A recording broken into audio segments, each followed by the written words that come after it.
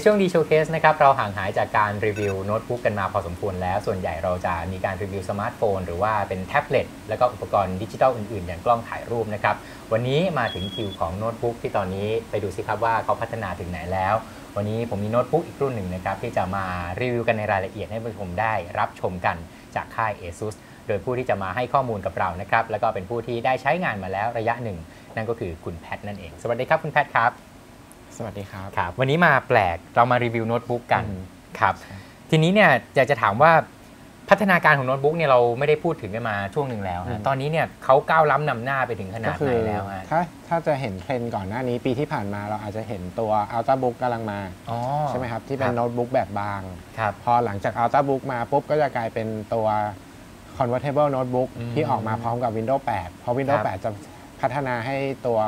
ระบบปฏิบัติการเนี่ยมันใช้งานได้ทั้งเป็น PC เป็นโน้ตบุ๊กแล้วก็เป็นแท็บเล็ต ครับ ก็ก็เลยจะแตะหน้าจออะไรกันได้ก็จะเป็นใช่ไหม แบบรองรับหน้าจอสัมผัสได้ครับ อะไรอย่างนี้ ทีนี้ทางฝั่งผู้ผลิตก็พยายามหันมาแบบสร้างความแตกต่างจากโน้ตบุ๊กรูปแบบเดิมครับ ๆ เพราะอย่างอย่างเดิมเราอาจจะเห็นก็แค่เป็นหน้าจอกับแป้นคีย์บอร์ดติดกัน ใช่ ทางผู้ผลิตก็จะเหมือนแบบออกแบบให้มันกลายเป็น สินค้าที่สามารถแยกใช้งานได้อืมแล้วก็อำนวยความสะดวกให้ผู้ใช้ครับอือหือ คือเราก็จะเห็นมาระยะหนึ่งแล้วว่าสามารถที่จะตั้งเป็นโน้ตบุ๊กธรรมดาก็ได้ เป็นแบบฝาพับปิดลงมา ใช่แล้วก็สามารถที่จะถอดจอดึงออกมา ดึงเพื่อจะทำเป็นแท็บเล็ตก็ได้เหมือนกัน ใช่แต่ซึ่งว่าก็เป็นคุณสมบัติที่โน้ตบุ๊กหลาย ๆ รุ่นก็มีในตอนนี้ใช่ไหมแต่ว่าก่อนหน้าเนี้ยเอ่อส่วนใหญ่เขาจะยึดติดอยู่กับการที่มันเป็น Windows 8 อ๋อ เพราะว่าอย่างครับอย่างสมมติ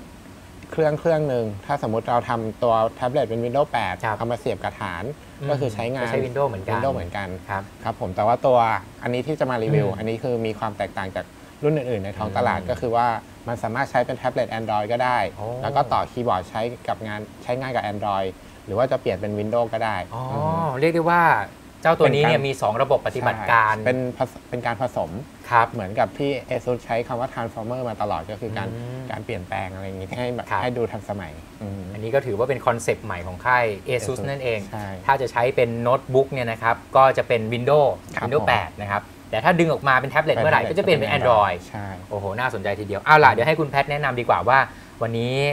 เรารีวิวโน้ตบุ๊กอืมรุ่นอะไร แล้วก็ครับผมรุ่นนี้มีคุณสมบัติอะไรบ้างก็คือตัวตัวนี้จะเป็น ASUS Transformer Book ครับ Trio นะครับคำว่า Trio ก็คือมาจากคำว่าการที่เราสามารถใช้งานเป็นทั้งแท็บเล็ตเป็นครับโน้ตบุ๊กครับแล้วก็ต่อออกจอมันจะมีช่อง HDMI ต่ออืมแล้วก็เป็นใช้เป็น PC กับจอ จอ LCD ปกติได้ด้วย อ๋อ ก็คือเป็นอันนี้ก็คือคำที่มาของคำว่า Trio ฟรีโอนี่ก็คืออืม3 อย่างสามนั่นอย่างเองใช่นะครับโน้ตบุ๊กด้วยแท็บเล็ตด้วยแล้วก็ครับสามารถต่อออกจอเป็น อืม PC ใช่ครับ แล้วก็ทีนี้ตัวความความแตกต่างของไอ้ Transformer Book Trio ก็คือมันจะมีหน่วยประหน่วยประมวลผลสองสองแบบ ม ก็คือว่าถ้าเป็นใช้ครับ งานเป็นแท็บเล็ตนี่ครันะบเดี๋ยวจะดึงออกมาก่อนอ่าง่าย ๆ ครับ พอเป็นแท็บเล็ตปุ๊บ มันก็จะใช้หน่วยประมวลผลที่อยู่ภายในนี้ ก็จะก็อคืยู่ในจะตัเป็วนเครื่องนี้เลยจะเป็น Intel Atom ครับ อือฮึความเร็ว 1.6 กิกนะครับ ครับแล้วก็มีพวกแรม 2 กิก มีหน่วยความจำ 16 กิกอยู่ข้างในให้คือเราอยู่ใช้ในงานตัวครได้บเครื่องเลย ใช่ แล้วก็ถ้าสมมุติเราต่อเข้ากับตัวครับ ฐานดึงลงมาให้นั่นเอง แล้วก็ดันเข้าไปครับมันจะมีเรียบร้อยปุ่มแล้ว แล้วถ้าเราเปิดใช้งาน Windows อยู่ มันจะมีไฟตรงนี้ขึ้น ครับ แล้วก็พอเราเสียบเข้าไปเราก็กดปุ่ม ตรงนี้มันจะมีปุ่มคีย์บอร์ดที่ไว้ครับใช้สลับกับ Windows กับ Android อ๋ออืมเปลี่ยนแล้วก็ระบบปฏิบัติการถ้าเรากดครัมับนก็จะเปลี่ยนได้ทันทีครับนี่นะครับอืมจาก Android เมื่อสักครู่นี้ก็กลายเป็นกลายเป็นมาใช้ Windows Windows เห็นไหมใช่ฮะก็จะเห็นหน้าจอของ Windows ครับผม แล้วพอเราใช้งานตรงนี้ปุ๊บ ตัว Windows มันจะไปดึงหน่วยประมวลผลของ Intel Core Core i7 ครับที่อยู่ในที่ตัวอยู่ในตัวนี้ ในตัวนี้แทนใช่ อืม แล้วก็ในนี้มันก็จะมีมีฮาร์ดดิสก์ให้ 500 gig ครับ ครับผมแรม4 gig ครับแล้วก็มีตัวการ์ดจอที่เป็นของ Ha- เอ่อ Intel Haswell อยู่แล้วก็คือ มันก็คือเป็นสเปคคอมที่ค่อนข้างโอเคอยู่แล้ว แรงเลยใช่ครับครับก็ผมเรียกว่าถ้าเกิดเราใช้แท็บเล็ตเนี่ย อืมมันก็จะมีอ่าเรียกได้ว่าเป็นสิ่งที่มันประมวลผลอยู่ในตัวมันเองนะครัฮะบผม ก็สามารถก็คือที่จะทำงานในรูปแบบของแท็บเล็ตได้ ใช่ ทั้งแนวตั้งและแนวนอนนี่ฮะอย่างครับที่ผม บอกไป เป็นระบบปฏิบัติการ Android นั่นเอก็ง คือด้วย ASUS ก็มีพัฒนาแท็บเล็ตที่เป็น Android ออกมาหลายรุ่น อ๋อออย่างที่เห็นกันแล้วมีแบบจำหน่ายกันเยอะๆ ก็อาจครัจะบเป็นรุ่นโฟนแพดอ๋อครับแล้วก็แพดโฟนอะไรที่เขาที่มันใช้เป็นสามารถที่จะใช้แบบเป็น ประกอบร่างได้ใช่นะฮะ ใช่แล้วก็อ๋อครับก็คือด้วยด้วยความที่ ASUS ค่อนข้างค่อนข้างพัฒนาตรงนี้มาเยอะ ก็คือจะมีแอปแอปพลิเคชันที่เป็น เกี่ยวกับตัวการใช้งานอยู่ค่อนข้างเยอะอยู่แล้ว ของนะครับตัว ASUS เองที่ใช่ทำขึ้นมาเพื่อเป็น UI นะครับให้กับอืมระบบปฏิบัติการปฏิบัติการ แล้วก็เวลาเวลาใช้งานจริง ๆ เราอาจจะสงสัยว่าสมมุติเราเซฟข้อมูลไว้ใน Android อืมแล้วเวลาเราเชื่อมต่อกับตัวนี้ที่เป็น Windows เราครัจะบสามารถดึงข้อมูลจากตัว Android เข้าไป Windows หรือดึงส่งข้อมูลจากใน Windows ไปอ่าที่ตัว Android ได้ยังไงอ่าตรงนี้ ASUS มันก็ ASUS ก็จะมีพัฒนาระบบอันนี้ไว้ครับคือเป็นนะครับ เวลาเวลาเราต่อเครื่องเข้าไปนะเสียบต่อเครื่องนะครับ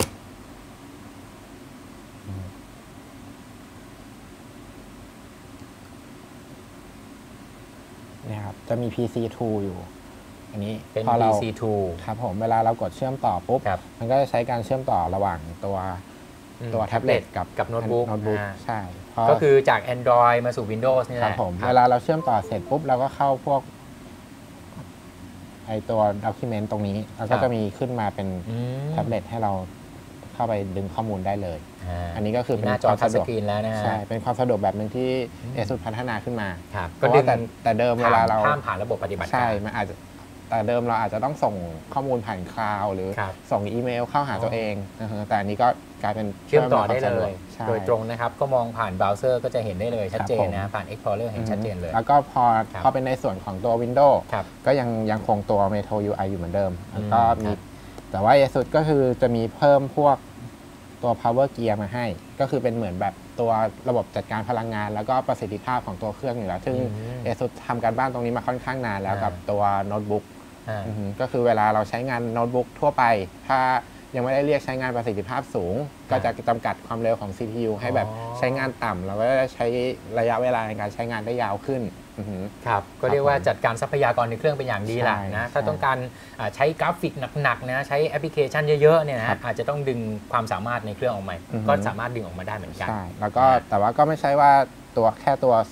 สเปคภายในอย่างเดียวที่ครับ ASUS พัฒนามา ครับเพราะว่ามีอะไรถ้าฮะถ้าอย่างเราสังเกต เดี๋ยวเราจะอ่าค่อยๆดูแยกรอออบกมาอีกรอบทีหนึ่ง เครื่องกันแล้วกันครับอ่ามาดูเจ้าตัวแท็บเล็ตตัวก่อนแล้วแท็กับเล็ตนอันนะนี้นะครับเราก็จะมีช่องสำหรับใส่ micro พอร์ต SD เยอะ card ได้มากเห็นตรงนี้ แล้วก็อันนี้คือช่อง micro SD ครับผมตรงนี้ก็เป็นช่องเสียบสายชาร์จ ครับเราสามารถแยกเอาสาย micro USB มาเสียบชาร์จได้ปกติอืม นะครับหรือว่าเรากรณีที่เราต่อกับ dock อยู่แล้ว เราก็มันก็คือเป็นการเสียบไฟ adapter ชาร์จจาก dock ขึ้นมาที่ตัวแท็บเล็ตอยู่แล้วครับครับผมตัวอันนี้นี้จะก็แยกหูชาร์จฟัง ก็ได้เนาะครับ ใช่ อันนี้เป็นหูฟัง อันนี้ก็คือเป็นตัวล็อกนี่นะครับล็อกครับกับตัวฐานครับอันนี้ก็เป็นพอร์ตที่เขาไว้เชื่อมต่อกันครับนะครับ ด้านอืมทีนี้มาด้านหลังนี่นะครับด้านหลังก็มีให้ดูด้วยนะ ตรงนี้จะเป็นปุ่มเปิดปิดหน้าจอของ Android ครับแล้วก็ปุ่มเพิ่มลดเสียงครับนะครับแล้วมีลำโพงอยู่ในโทรศัพท์เนี่ยแหละในใช่แท็บเล็ตนี่แหละนะฮะแล้วก็มีกล้องหลังความละเอียด5ล้านพิกเซลให้อ๋อนะครับอันนี้วัสดุก็จะดูครับเป็นอลูมิเนียมครับอืมเดี๋ยวลองเคาะดูนะอลูมิเนียมจริงๆคนะรับผม สมกับความหนาพลสติกเนี่ยนะครับ อยากให้ท่านผู้ชมเห็น ก็ถือว่าค่อนข้างบางครับถ้าถ้าเทียบกับแท็บเล็ตรุ่นหน้าจอแบบขนาด 11.6 นิ้วครับนะครับ อันนี้เป็นจอ 11.6 นิ้วความละเอียด Full HD 11.6 นิ้วครับค่อนข้างใหญ่พอสมควรค่อนข้างใหญ่ครับนะถ้าเทียบกับแท็บเล็ตทั่วไปในท้องตลาดอืมข้างหน้าก็จะมีกล้อง อันนี้เป็นกล้องความละเอียด 2 ล้านพิกเซล ก็ให้ครับให้ความละเอียด HD ได้ไว้ครับเป็นใช้งานเป็นวิดีโอคอลได้นะครับ ท่านที่ใช้ Android อยู่แล้วก็สบายเลยนะฮะถนัดเลยใช้แบบนี้ จอค่อนข้างจะใหญ่แล้วก็แล้วก็ใช้งานได้ถนัดทีเดียวครับ ทีนี้มาดูแนวตั้งแนวนอนที่ตัว dockตัวด็อกก็จะมีพอร์ต USB เนี่ยนะครับอืมแล้วก็ไฟพวกไฟแสดงสถานะ แล้วก็ครับช่องเสียบหูฟังเหมือนกันครับแล้วก็อีกฝั่งหนึ่งก็จะมีช่องสำหรับต่อ HDMI เป็นไมโคร HDMI ครับนะครับ แล้วก็ตรงนี้ก็ถ้าถ้าเราไม่ได้ใช้เป็นสายไมโคร HDMI แล้วก็จะเป็น ตัว VGA out แต่ตรงนี้มันจะมีสายแปลงให้ ครับก็ก็มีอยู่มีเป็นอุปกรณ์มาให้อยู่ในกล่อง ครับเช่นเดียวกับพวกตัวต่อสายแลนครับสายแลนก็ต้องใช้ผ่านพอร์ต USB เอาอ๋ออันนี้ก็จะเป็น USB 3.0 อยู่แล้วครับ นะครับให้มันจะได้ส่งข้อมูลได้เร็วขึ้นอืมตรงนี้เป็นช่องเสียบสายชาร์จครับ นะครับ นอกนั้นก็ไม่มีอะไรแล้วนะฮะใช่ก็เป็นส่วนที่เชื่อมต่อ อันนี้คือฐานของมันเองนะฮะอือฮึก็จะแยกออกได้เป็น 2 ชิ้นครับ ด้วยด้วยตัวน้ำหนัก ของตัวเครื่องเนี่ย ถ้าเฉพาะตัวแท็บเล็ตอย่างเดียวนี่ประมาณ 800 กรัม อืม ก็ถือว่าไม่ไม่ได้หนักเกินไป แต่ว่าพอครับ มาเชื่อมกับตัวที่มันเป็นด็อกเนี่ย ตัว dock จะอยู่อีกที่1โล อ๋ออืมนะก็ ก็จะรวมกันเป็นประมาณวกันพันแปดร้อยกรัม1.8โลก็ครับ ค่อนข้างหนักค่อนข้างหนักเกือบ นะครับ2 กิโล ใช่ก็จะหนักกว่าอัลต a าบุ๊กในท้องตลาดนิดนึงอืมอือฮึแต่ว่าก็แลกกับสเปคที่ค่อนข้างสูงของตัวนี้นะครับ แล้วก็อันนี้จะมีจุดเด่นอีกอันหนึงก็คือ ASUS เลือกใช้ลำโพงของ Bang & Olufsen อืมชื่อดังเลยเป็นชื่อดังอยู่ครับแล้ว แล้วก็ให้คุณภาพเสียงที่ค่อนข้างค่อนข้างดีครับผมอ๋อครับอืมก็เรียกได้ว่าเป็นคอนเซปต์ที่พยายามผสาน2 ระบบปฏิบัติการครับแล้วก็พยายามผสานนะครับสองการเชื่อมต่อใช่นะกับอุปกรณ์ที่หลาย ๆ คนเนี่ยกำลังนิยมแล้วก็อืมต้องการใช้งานอยู่ในขณะนี้ ถ้าต้องการจะใช้งานพกพาไปไหนครับผมมาไหนเป็นแท็บเล็ตก็ใช้เจ้าตัวนี้ใช้ตัวอย่างเดียวตัวหน้านะครับจอซึ่งก็จะมีอ่า ระบบประมวลผลนะมีแบตเตอรี่ในตัวใช่มีการจัดการทรัพยากรอยู่แล้วในตัวสามารถใช้งานได้ทันทีครับแต่ถ้าอยากจะทำงานหนักขึ้นมาหน่อย จะเป็นการแก้เอกสารงานเกี่ยวกับกราฟิก หรือว่าเล่นเกมหนักๆนะครับอืมก็สามารถที่จะเสียบแท่นลงไปตรงนี้ แล้วก็ใช้งานใช่เป็นโน้ตบุ๊กได้ปกติอืมทั่วไปเอ่อแต่ว่าก็จะมีข้อเสียนิดนึงที่ครับตัวแท็บเล็ตมันยังไม่รองรับตัวใส่ซิมการ์ดอ๋อเวลาเราใช้งานก็ต้องใช้เป็นการเชื่อมต่อ Wi-Fi เอาครับอืมครับเช่นเดียวกับตัว dock ถ้าเป็น Windows 8 มันก็จะเรียกใช้ Wi-Fi ที่อยู่ในนี้แทนอืมนะครับ แต่ว่าทาง ASUS ก็มีพัฒนาระบบขึ้นมาระบบหนึ่งคือ ถ้าสมมุติเราต่อสายแลนกับตัว dock อยู่ครับตัวโน้ตบุ๊กอันเนี้ยเราสามารถปล่อย Wi-Fi อืมให้ตัวเครื่องตัวนี้ได้แท็บเล็ตได้ใช่อ๋อก็คือเป็นระบบที่พัฒนาขึ้นมาครับก็อยู่ในระยะ Wi-Fi ที่จะเชื่อมถึงกันได้ใช่อ๋อครับ ก็คือเหมือนกับ เราแปลงตัวนี้เป็นโทรศัพท์ที่เป็น mobile hotspot แล้วก็ให้ครับตัวนี้เชื่อมต่อแทนครับอืมสำหรับการเชื่อมต่อไปอีกส่วนหนึ่งที่เรียกว่า Trio ก็คือไปเชื่อมต่อผ่านเชื่อมต่อจอใหญ่ใช่ๆใช่ไหมฮะมอนิเตอร์ของเราเองที่มีใช่ก็สามารถจะใช้งานเป็นเรียกได้ว่าเป็น base อยู่ที่บ้านได้นะฮะก็อาจจะก็ต่อไม่ต้องการจะไปพกพาแล้วล่ะอืมอาจจะอยู่ที่บ้านปุ๊บมาถึงบ้านนะครับกลับมาถึงบ้านแล้วก็เสียบเข้าเชื่อมต่อกับจออีกจอหนึ่งแล้วก็สามารถทำงานผ่านทางใช่อุปกรณ์นี้ได้เหมือนกันอือหือนะก็ถือว่าเป็นคอนเซปต์ที่ ASUS พยายามคิดขึ้นมาคิดขึ้นมาเพื่อให้นำหน้าให้นะนำหน้าทันสมัยคู่แข่งแตกต่างจากคู่แข่งใช่แล้วก็นอกจากนี้อุปกรณ์ในกล่องที่ให้มาอ่าก็จะมีที่เป็นมาดูกล่องกันนะซครับ soft case ด้วยนี่นะครับ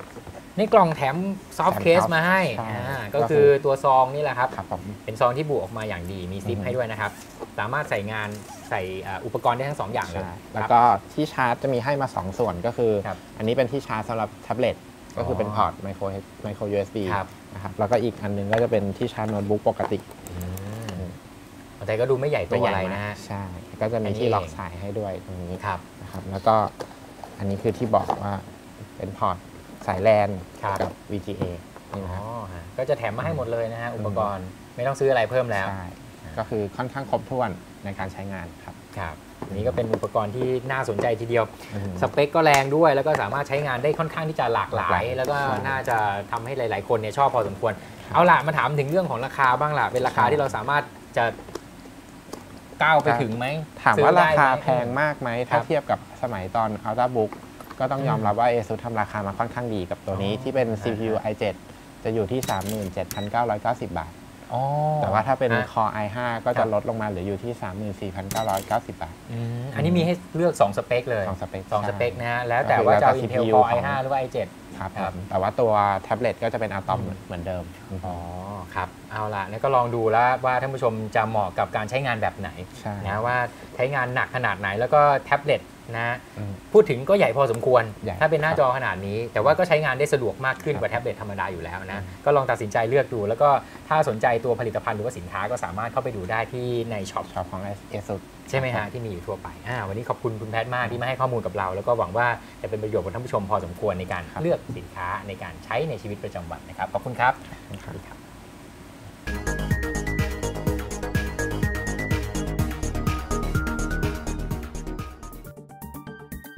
it ท้ายรายการของเราในวันนี้มีของมาฝากท่านผู้ชมอีกแล้วนะครับ เป็นกระเป๋าผ้าจากเอฟสันครับ สกรีนลายสวยงามจากเครื่องปริ้นของเอฟสันนั่นเองครับ ท่านผู้ชมสามารถร่วมสนุกได้นะครับ โดยเข้ามาใน facebook.com/astv.digital-to-go ของเรา แล้วมากดไลค์ภาพที่ผมถ่ายคู่กับกระเป๋าผ้าใบนี้นะครับเพียงเท่านี้ท่านผู้ชมก็มีสิทธิ์ที่จะได้รับกระเป๋าผ้าใบนี้ไปแล้ว และอย่าลืมด้วยนะครับ ถ้ามีข้อคิดเกี่ยวกับเด็ก ๆ และเทคโนโลยีก็สามารถฝากคอมเมนต์ไว้ได้ เช่นเดียวกันครับ วันนี้รายการของเราหมดเวลาแล้วนะครับ พบกันใหม่สัปดาห์หน้ากับ Digital to Go ครับ สวัสดีครับ